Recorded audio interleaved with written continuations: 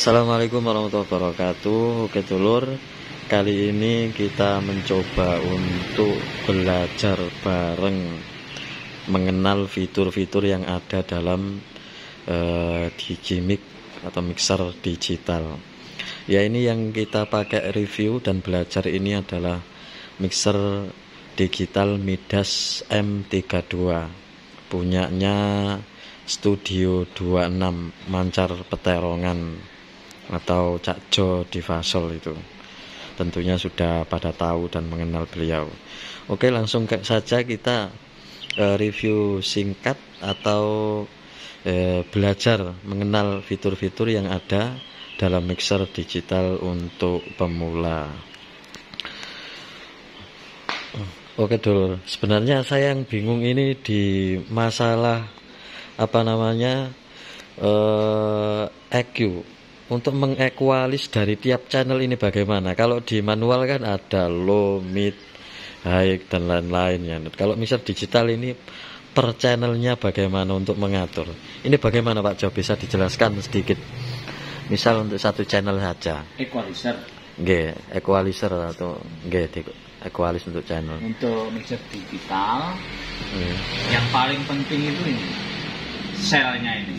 Sel artinya select jadi kalau kita tekan ini, nah berarti yang tampil di sini ini yang terselect ini. Nah, contohnya ini select nomor channel 30. Nah, yang tampil di layar berarti 30. Kalau kita pindah sel ke channel 28, berarti yang tampil di layar 28. Makanya setiap kita mengedit ini equalizer, low cut, uh, kompresor, gate itu yang harus diperhatikan ini selnya ini posisi di mana. Hmm. Itu yang paling penting. Pokoknya kita mau ngedit channel 1 tapi posisi selnya di 28 ya tidak akan berubah yang channel 1 tadi. Hmm. Makanya yang paling penting diperhatikan harus ini. Posisi selectnya ini pada channel berapa. Nah, kalau kalau ini kan 28 kalau yang begini ini tidak jadi 28, posisi di sini jadi 12 karena di sini ada layar 1, layar 2. Layar 1, layar 2 nah, ini apa Layar 1 itu mixer ini kan 32 channel. Eh. Ya kan? Sedangkan fader yang tersedia di sini 16. Nah, karena tidak cukup maka dibagi dua 32 dibagi dua menjadi 16 berarti satu halaman berarti 16 channel atau fader. Kalau posisi yang ditekan ini input ini kan ada tulisan input 1 sampai 6 nah input 1 sampai 6 berarti fader ini berfungsi sebagai channel 1 sampai channel 16 kalau yang ini ditekan input 17 sampai 32 nah dia bergerak. Jadi feeder yang feeder 1 jadi feeder 17. 11. Yang feeder terakhir tadi 16 jadi 32. Oh. Jadi sama dengan 32 dibagi dua halaman berarti oh, menjadi 16 16. Hmm. Itu yang paling penting harus dipelajari. Tahu tata letaknya ini. Jadi tahu kita sel ini posisi di mana. Kalau kita sel di sini, ini bisa bisa 16 bisa 32. Tergantung posisi inputnya di sini. Oh, iya, iya. Ya. Oh.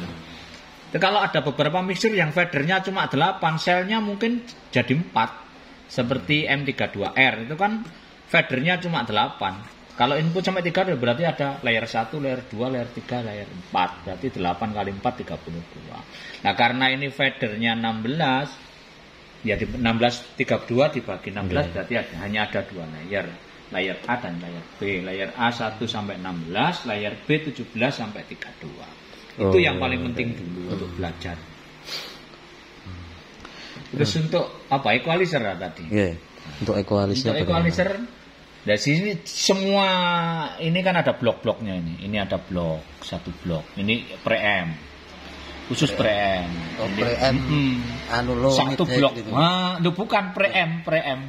Oh, pre-M. Pre-M kepekaan pre-M. Untuk pre-M. Nah, di pre-M itu ada polarity. Terus ada phantom. Input di input itu ada lokat.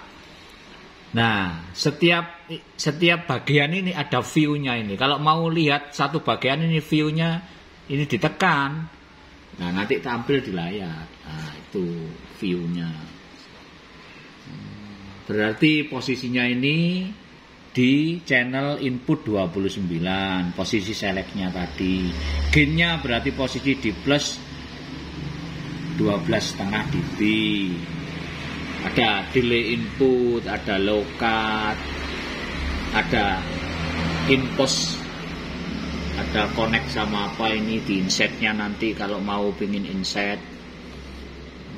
Nah, untuk ini bagian preamp. Kalau ini mau di view bagian gate, gate satu gate satu putaran ini di view tek ya dia berubah menjadi gate. Gate channel 29 selectnya tadi, makanya ini harus harus teliti. Kalau ingin ngedit satu tapi posisi selectnya di 29 ya tidak akan bisa. Harus select dulu satu baru diedit. Select 29 ini ya. Ya, tadi kan posisi select 29. Katanya mau di select 32 lah. Ini kan berubah 32 posisinya. Ya kan? Nah, saya select ini 31. Ya, ini akan berubah menjadi 31. Semua tampilan di sini ini menjadi tampilan dari channel 31 hmm. terus untuk ini kompresor ini kan ada bagian sendiri ini ya masih channel katakanlah tadi 29 ya channel 29 ini kompresor kalau ditekan view dia di layarnya ya akan tampil kompresor dari channel 29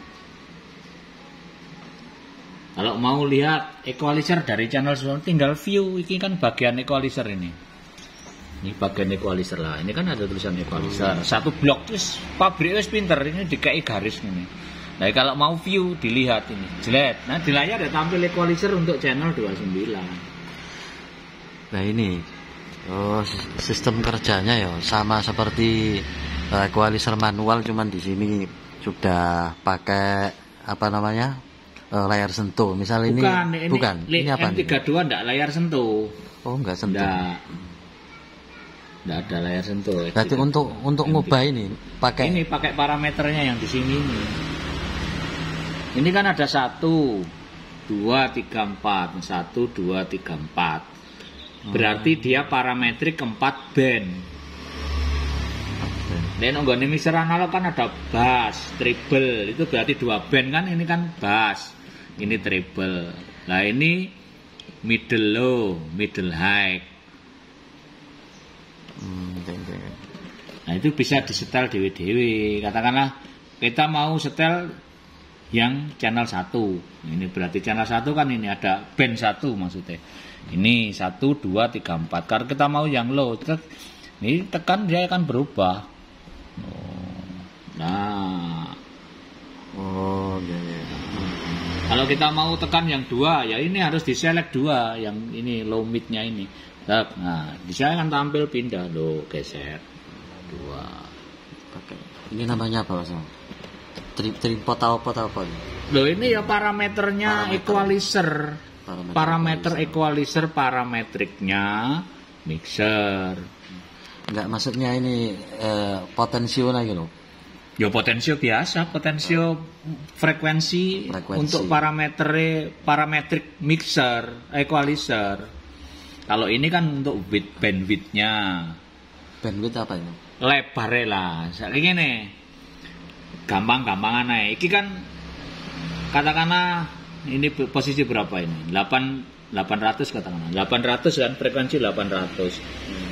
Lah bandwidthnya ini lek no kene digambarkan karo ki. Ki lek dengan satuan 3,1 iku ombone sakmene. Niki tak coba tak rubah. Loh, kalau dibikin oh, nah berarti kan nabrak koncone. Hmm. Nah, berarti koncone pinggirnya tonggone kan katut kepotong dia. Nah, kalau semakin dia ditinggikan nilainya semakin lancip, semakin lancip ini berarti kan hanya frekuensi 800 itu saja yang dipotong. Hmm, Masih iya. diekualisasi. Ketonggone gak melok-melok. Ini kan tonggone katut. Nah, ini namanya bandwidth, lebar potongan frekuensi yang diekualisasi. Jadi ini sangat apa namanya detail sekali ya untuk ekualisasi. Dibalik, ini kan dipotong. Ini pakai gennya. Kalau gennya di plus jadi gini, posting ini namanya. Hmm. Nah ini baru posting di frekuensi 800. Kalau gini diputar ke bawah gini berarti dia cut di frekuensi 800. Oh, kas. Ya sebenarnya hampir sama dengan eh, manual itu kalau Nah, kita ke atas sama, posting cuman kan ini kalau manual bentuknya. kan tidak kelihatan gambarnya ini. Kalau digital kan tahu persis ini 800. Kalau manual sampean ayo pas no 800, kau no angkai. Tapi kalau di sini kan ada angkanya. 700, 800 mau frekuensi berapa, terus mari ngono diluwin chip no sampai detail di frekuensi tersebut dipotong, tonggo-tonggone gak pakai katut. Kan bisa. Oh, iya. Lek analog kan tidak bisa.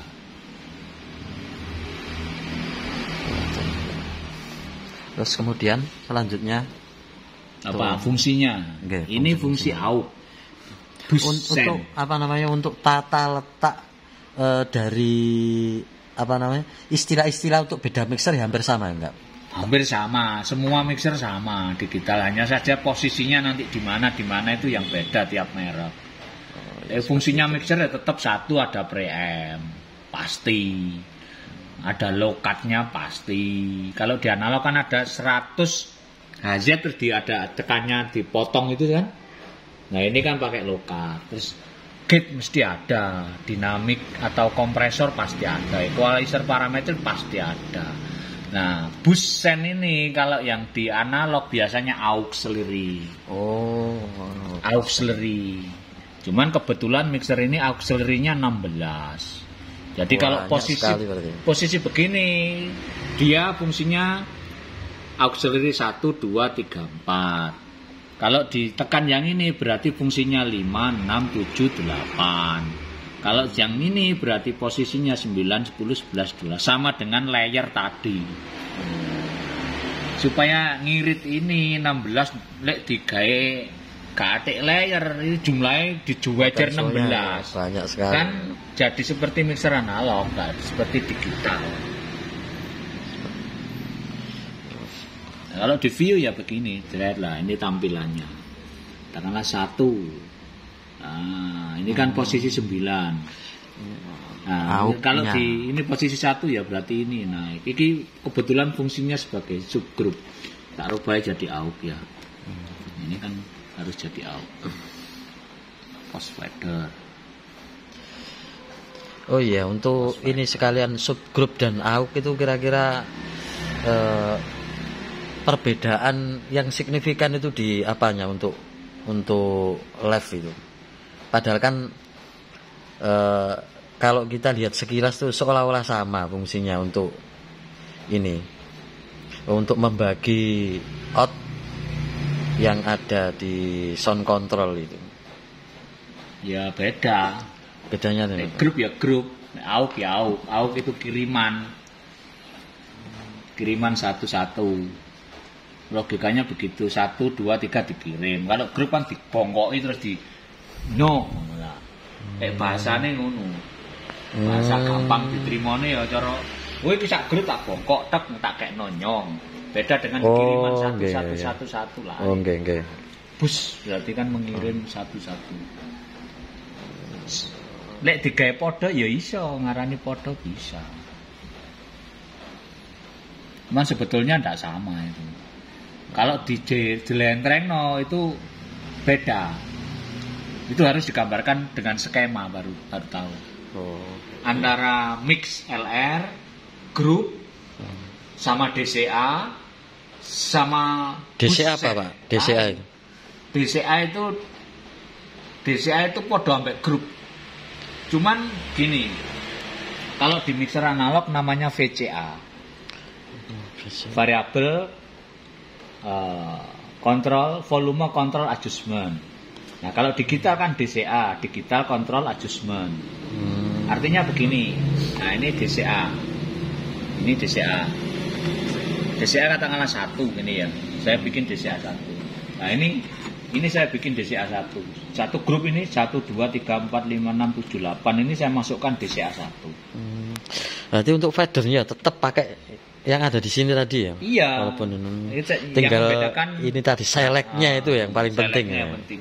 Yang membedakan sampai kan tanyanya lebih dalam ini. Oke. Yes. bedanya sajane kan gurung wayahe. Oh, Sampeyan iya, takone iya, kan bedane DCA sama eh apa iku bedane AUX sama grup. Iya. Tak jelaskan sekalian karena berhubungan dengan DCA.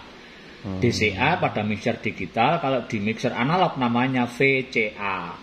Nah VCA itu hanya ada pada mixer-mixer yang profesional, kayak mixer cilik-cilik kalau VCA nih. Kalau mixer digital rata-rata sudah dilengkapi dengan DCA. Nah DCA itu artinya begini, kalau kita grup DCA 1 ya Iya. sama dengan katakanlah 1 sampai 8 ini saya masukkan DCA 1. Lek sama nyilik no iki, podo karo sama nyilik no ini loh. Nah, Oh iya. iki satu DCA. Grup. Bahasane kak, bahasa yang gampang diterima ning ngono. Hmm. Tapi kalau grup ndak, kalau grup itu sama nyilik no iki, ini ndak ndak ikut turun. Oh iya. Jadi yang yang ada di channel ini kan ada auxiliary, ada bus ini. Busnya masih keluar. Tapi kalau DCA ndak, DCA iki sama cilik sama pada karo nyilikno volume iki. Sama dengan Iya, lah itu sebetulnya lek sing gampang kudu digambar. Terus next berikutnya Pak Jo. Apa berikutnya? Ini nih.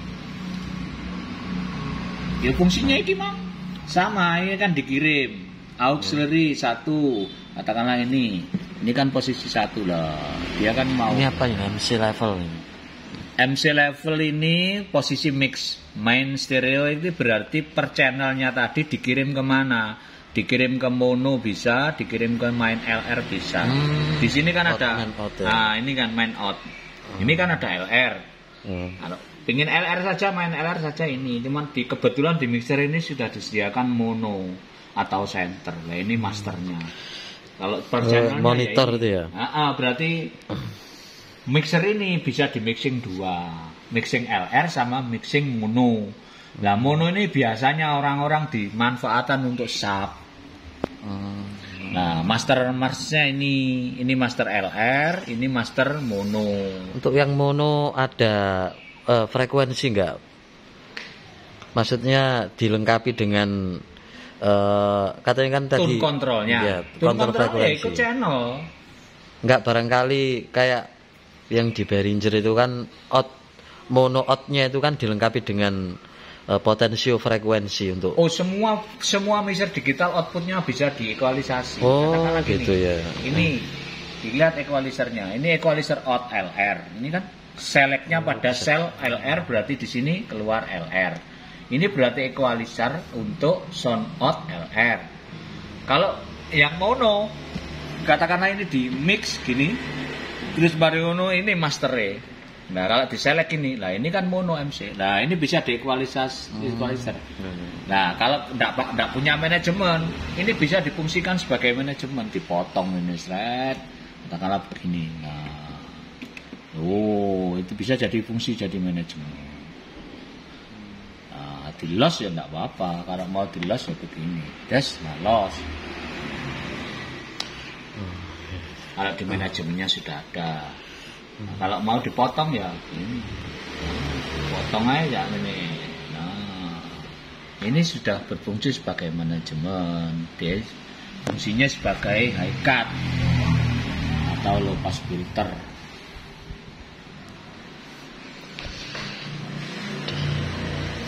Saya kira semua mixer digital outputnya ada equalizernya. Outputnya ini kompresornya juga ada. Ini kompresor untuk tiap output. Berarti apa namanya tiap channel ini bisa dibikin sesukanya dulu. Oh bisa Itu kelebihannya di gimmick ini. leluasa di kita itu. Cuma kita harus teliti posisinya sel ini harus di mana.